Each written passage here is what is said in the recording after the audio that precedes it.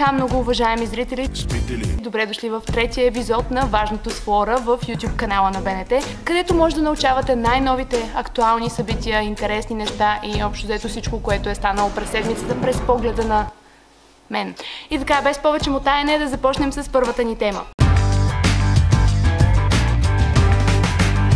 Имаме нов парламент, мъчително роден, съставен от най-разнородни партии, но с може би най-доброто представителство на различните обществени групи, което сме виждали от доста време насам. На 15 април удари и първият парламентарен звънец, като след известни разправи в коя сграда да са, коя парламентарна група къде ще седи, кой ще е на първия, кой ще е на последния ред, има ли озвучителна система, има ли система за гласуване, как ще гласуват депутатите. Нашите народни представители най-после се събраха и положиха клетва. Водещ на първото заседание бе Мика Зайкова, известен синдикалист, която, както сама определи поради неумолимия ход на времето и датата в моя акт за раждане, получи честа да води първото заседание, което по традиция се открива от най-възрастния народен представител. Можем откровено да заявим, че Мика Зайкова остави следа в воденето на парламентарните заседания с начина по който се изяви, а репликите й бяха едни от най-запомнящите се и интересни неща, на които станахме свидетели, а повярвайте ми, имаше богат избор. О, извинявайте. Депутатите си избраха и нов председател на парламента.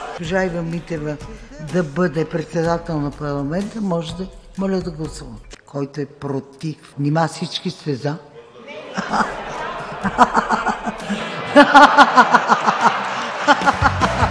Гласуването на кандидатурата на Митева породи редица мемета и реакции в социалните мрежи.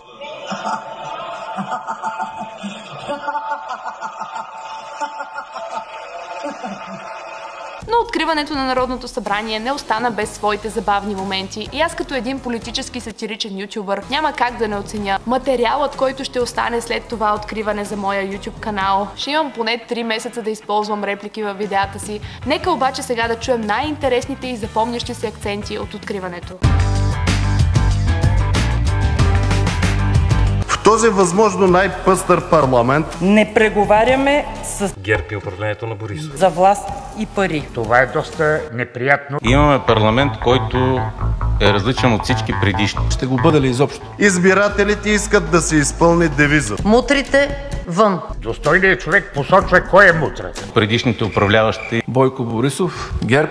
Къде е мутрата? председателя на Народното събрание. По традиция на откриването на парламента говори и президента Румен Радев, като президентът пожела успех на новото Народно събрание, но заяви, че все пак, ако не стане В случай, че Народното събрание не успее да излъчи правителство, той е готов със служебния кабинет. Едно от най-дългоочакваните събития бе и клетвата на един от 240-те народни представители, а именно водачът на втората политическа сила Слави Трифонов. След постигнатия изключително висок резултат на партията на Слави, много хора, включително и аз, очаквахме с нетърпение той да се появи, но за съжаление, тъй като бе карантиниран Слави защо му викаме Слави? Това нормално ли е в медиите да му викаме Слави? Той си е Станислав Трифонов. Сега а, все едно на Бойко Борисов да му казваме Боби Борисов или на Корнелия Нинова Корни Нинова. А не успя да присъства на заседанието, на откриването на Народното събрание, но пък положи клетва виртуално заедно с още трима карантинирани депутати. Общо взето очакват ни интересни времена с хората, които влизат в това Народно събрание. Представителността на различните обществени групи е изключително широка, така че несъмнено ще гледаме доста интересни парламентарни дебати,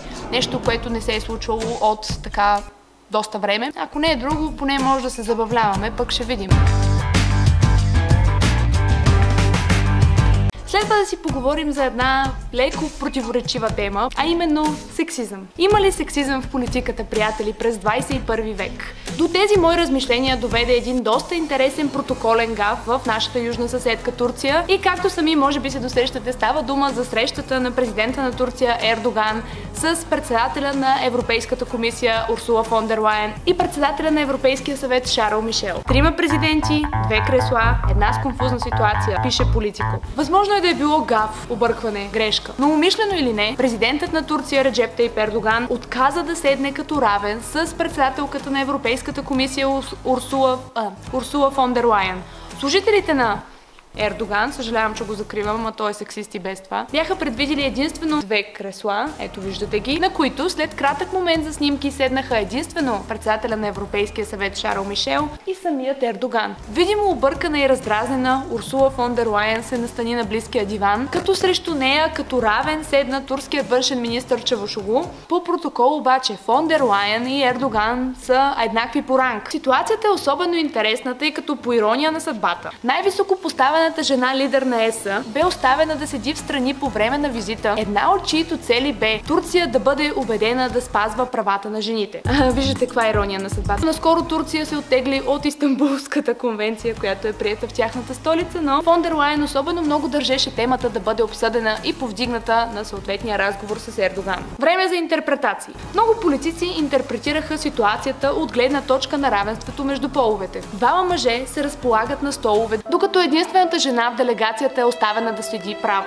They ask you how you are, you just have to say that you're fine when you're not really fine, but you just can't get into it because they would never understand. Според първоначалната реакция на екипа на Шаро Мишел, всичко е било супер според протокола, тъй като председателят на съвета на ЕСА е най-високо в дипломатическата иерархия. Но държанието на Ердоган предизвика редица коментари от високопоставени лица в Европейската комисия. Според главния говорител на комисията Ерик Мамбер, Урсула фон дер Лайен е трябвало да заеме абсолютно същото място като Шаро Мишел и турския президент. Фон дер Лайен е можела да напусне срещата, но като една силна независима жена е останала и е решила да върши работа, работа, работа.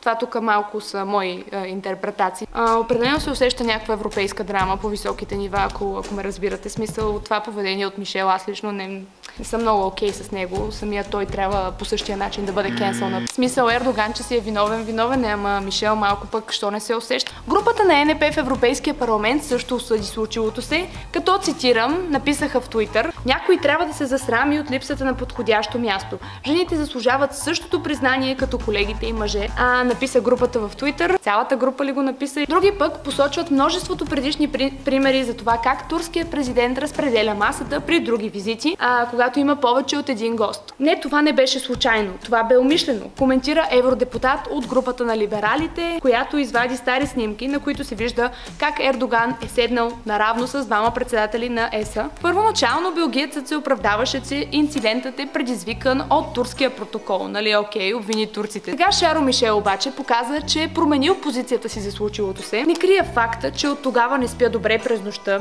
защото сцените продължават да се възпроизвеждат в глава защото сцените продължават да се възпроизвеждат в главата ми. Опасявах се, че ако реагирам по какъвто и да било начин, това щеше да предизвика много по-сериозен инцидент. Окей, okay, Мишел. Ако беше възможно, щях да се върна назад и да поправя случилото, се каза още той. Провокираният от Ердоган скандал Диван Гейт е травмирал дълбоко председателя на Европейския съвет Шаро Мишел. Въпрос към аудиторията. Според вас ситуацията случайен гаф ли беше или пък протоколът на Ердоган нарочно се опита да унизи Урсула фон дер Лайен? Можем ли да твърдим, че това е сексизъм или това е просто начин Ердоган да уязви Европейския съюз като цяло? А всъщност, толкова ли е важен държавния протокол? Имат ли наистина значение местата на срещата и може ли един такъв гаф да стане причина за обтягане на отношенията между Турция и Европейския съюз? Напишете в коментарите, искам да чуя вашето мнение, сексизъм ли е, не е ли сексизъм, нарочно ли е, не е ли нарочно, Ердоган ли е виновен, Шаро Мишел ли е виновен, има ли изобщо причина този скандал да е толкова голям или просто си въобразяваме нещо.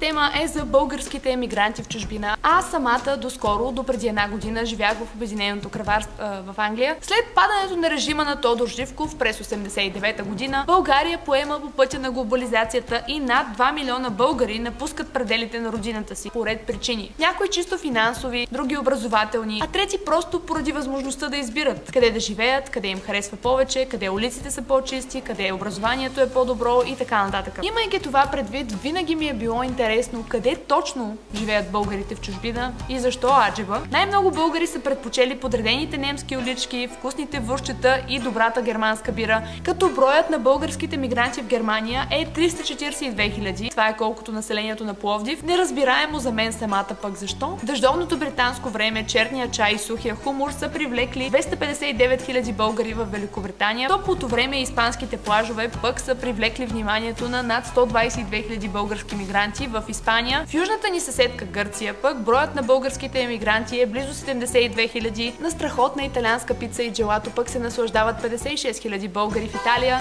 То реално не е много коректно да кажа, че се наслаждават на страхотна пица, защото могат да ядат и букуци принципно. Защо според вас това е така? Защо Германия привлича най-много българи? Защо има толкова и в Гърция, и в Великобритания? Има ли изглед те да се върнат с оглед на първата ни тема и новото Народно събрание и евентуалното ново правителство? Не знам, не знам. Ще разберем за бъдеще. А междувременно това бе всичко от днешния епизод на Важното с Флора. Абонирайте се, последвайте ме в Инстаграм, Флорчето, последвайте БНТ в Инстаграм. А, мисля, че си казах абсолютно всички реплики.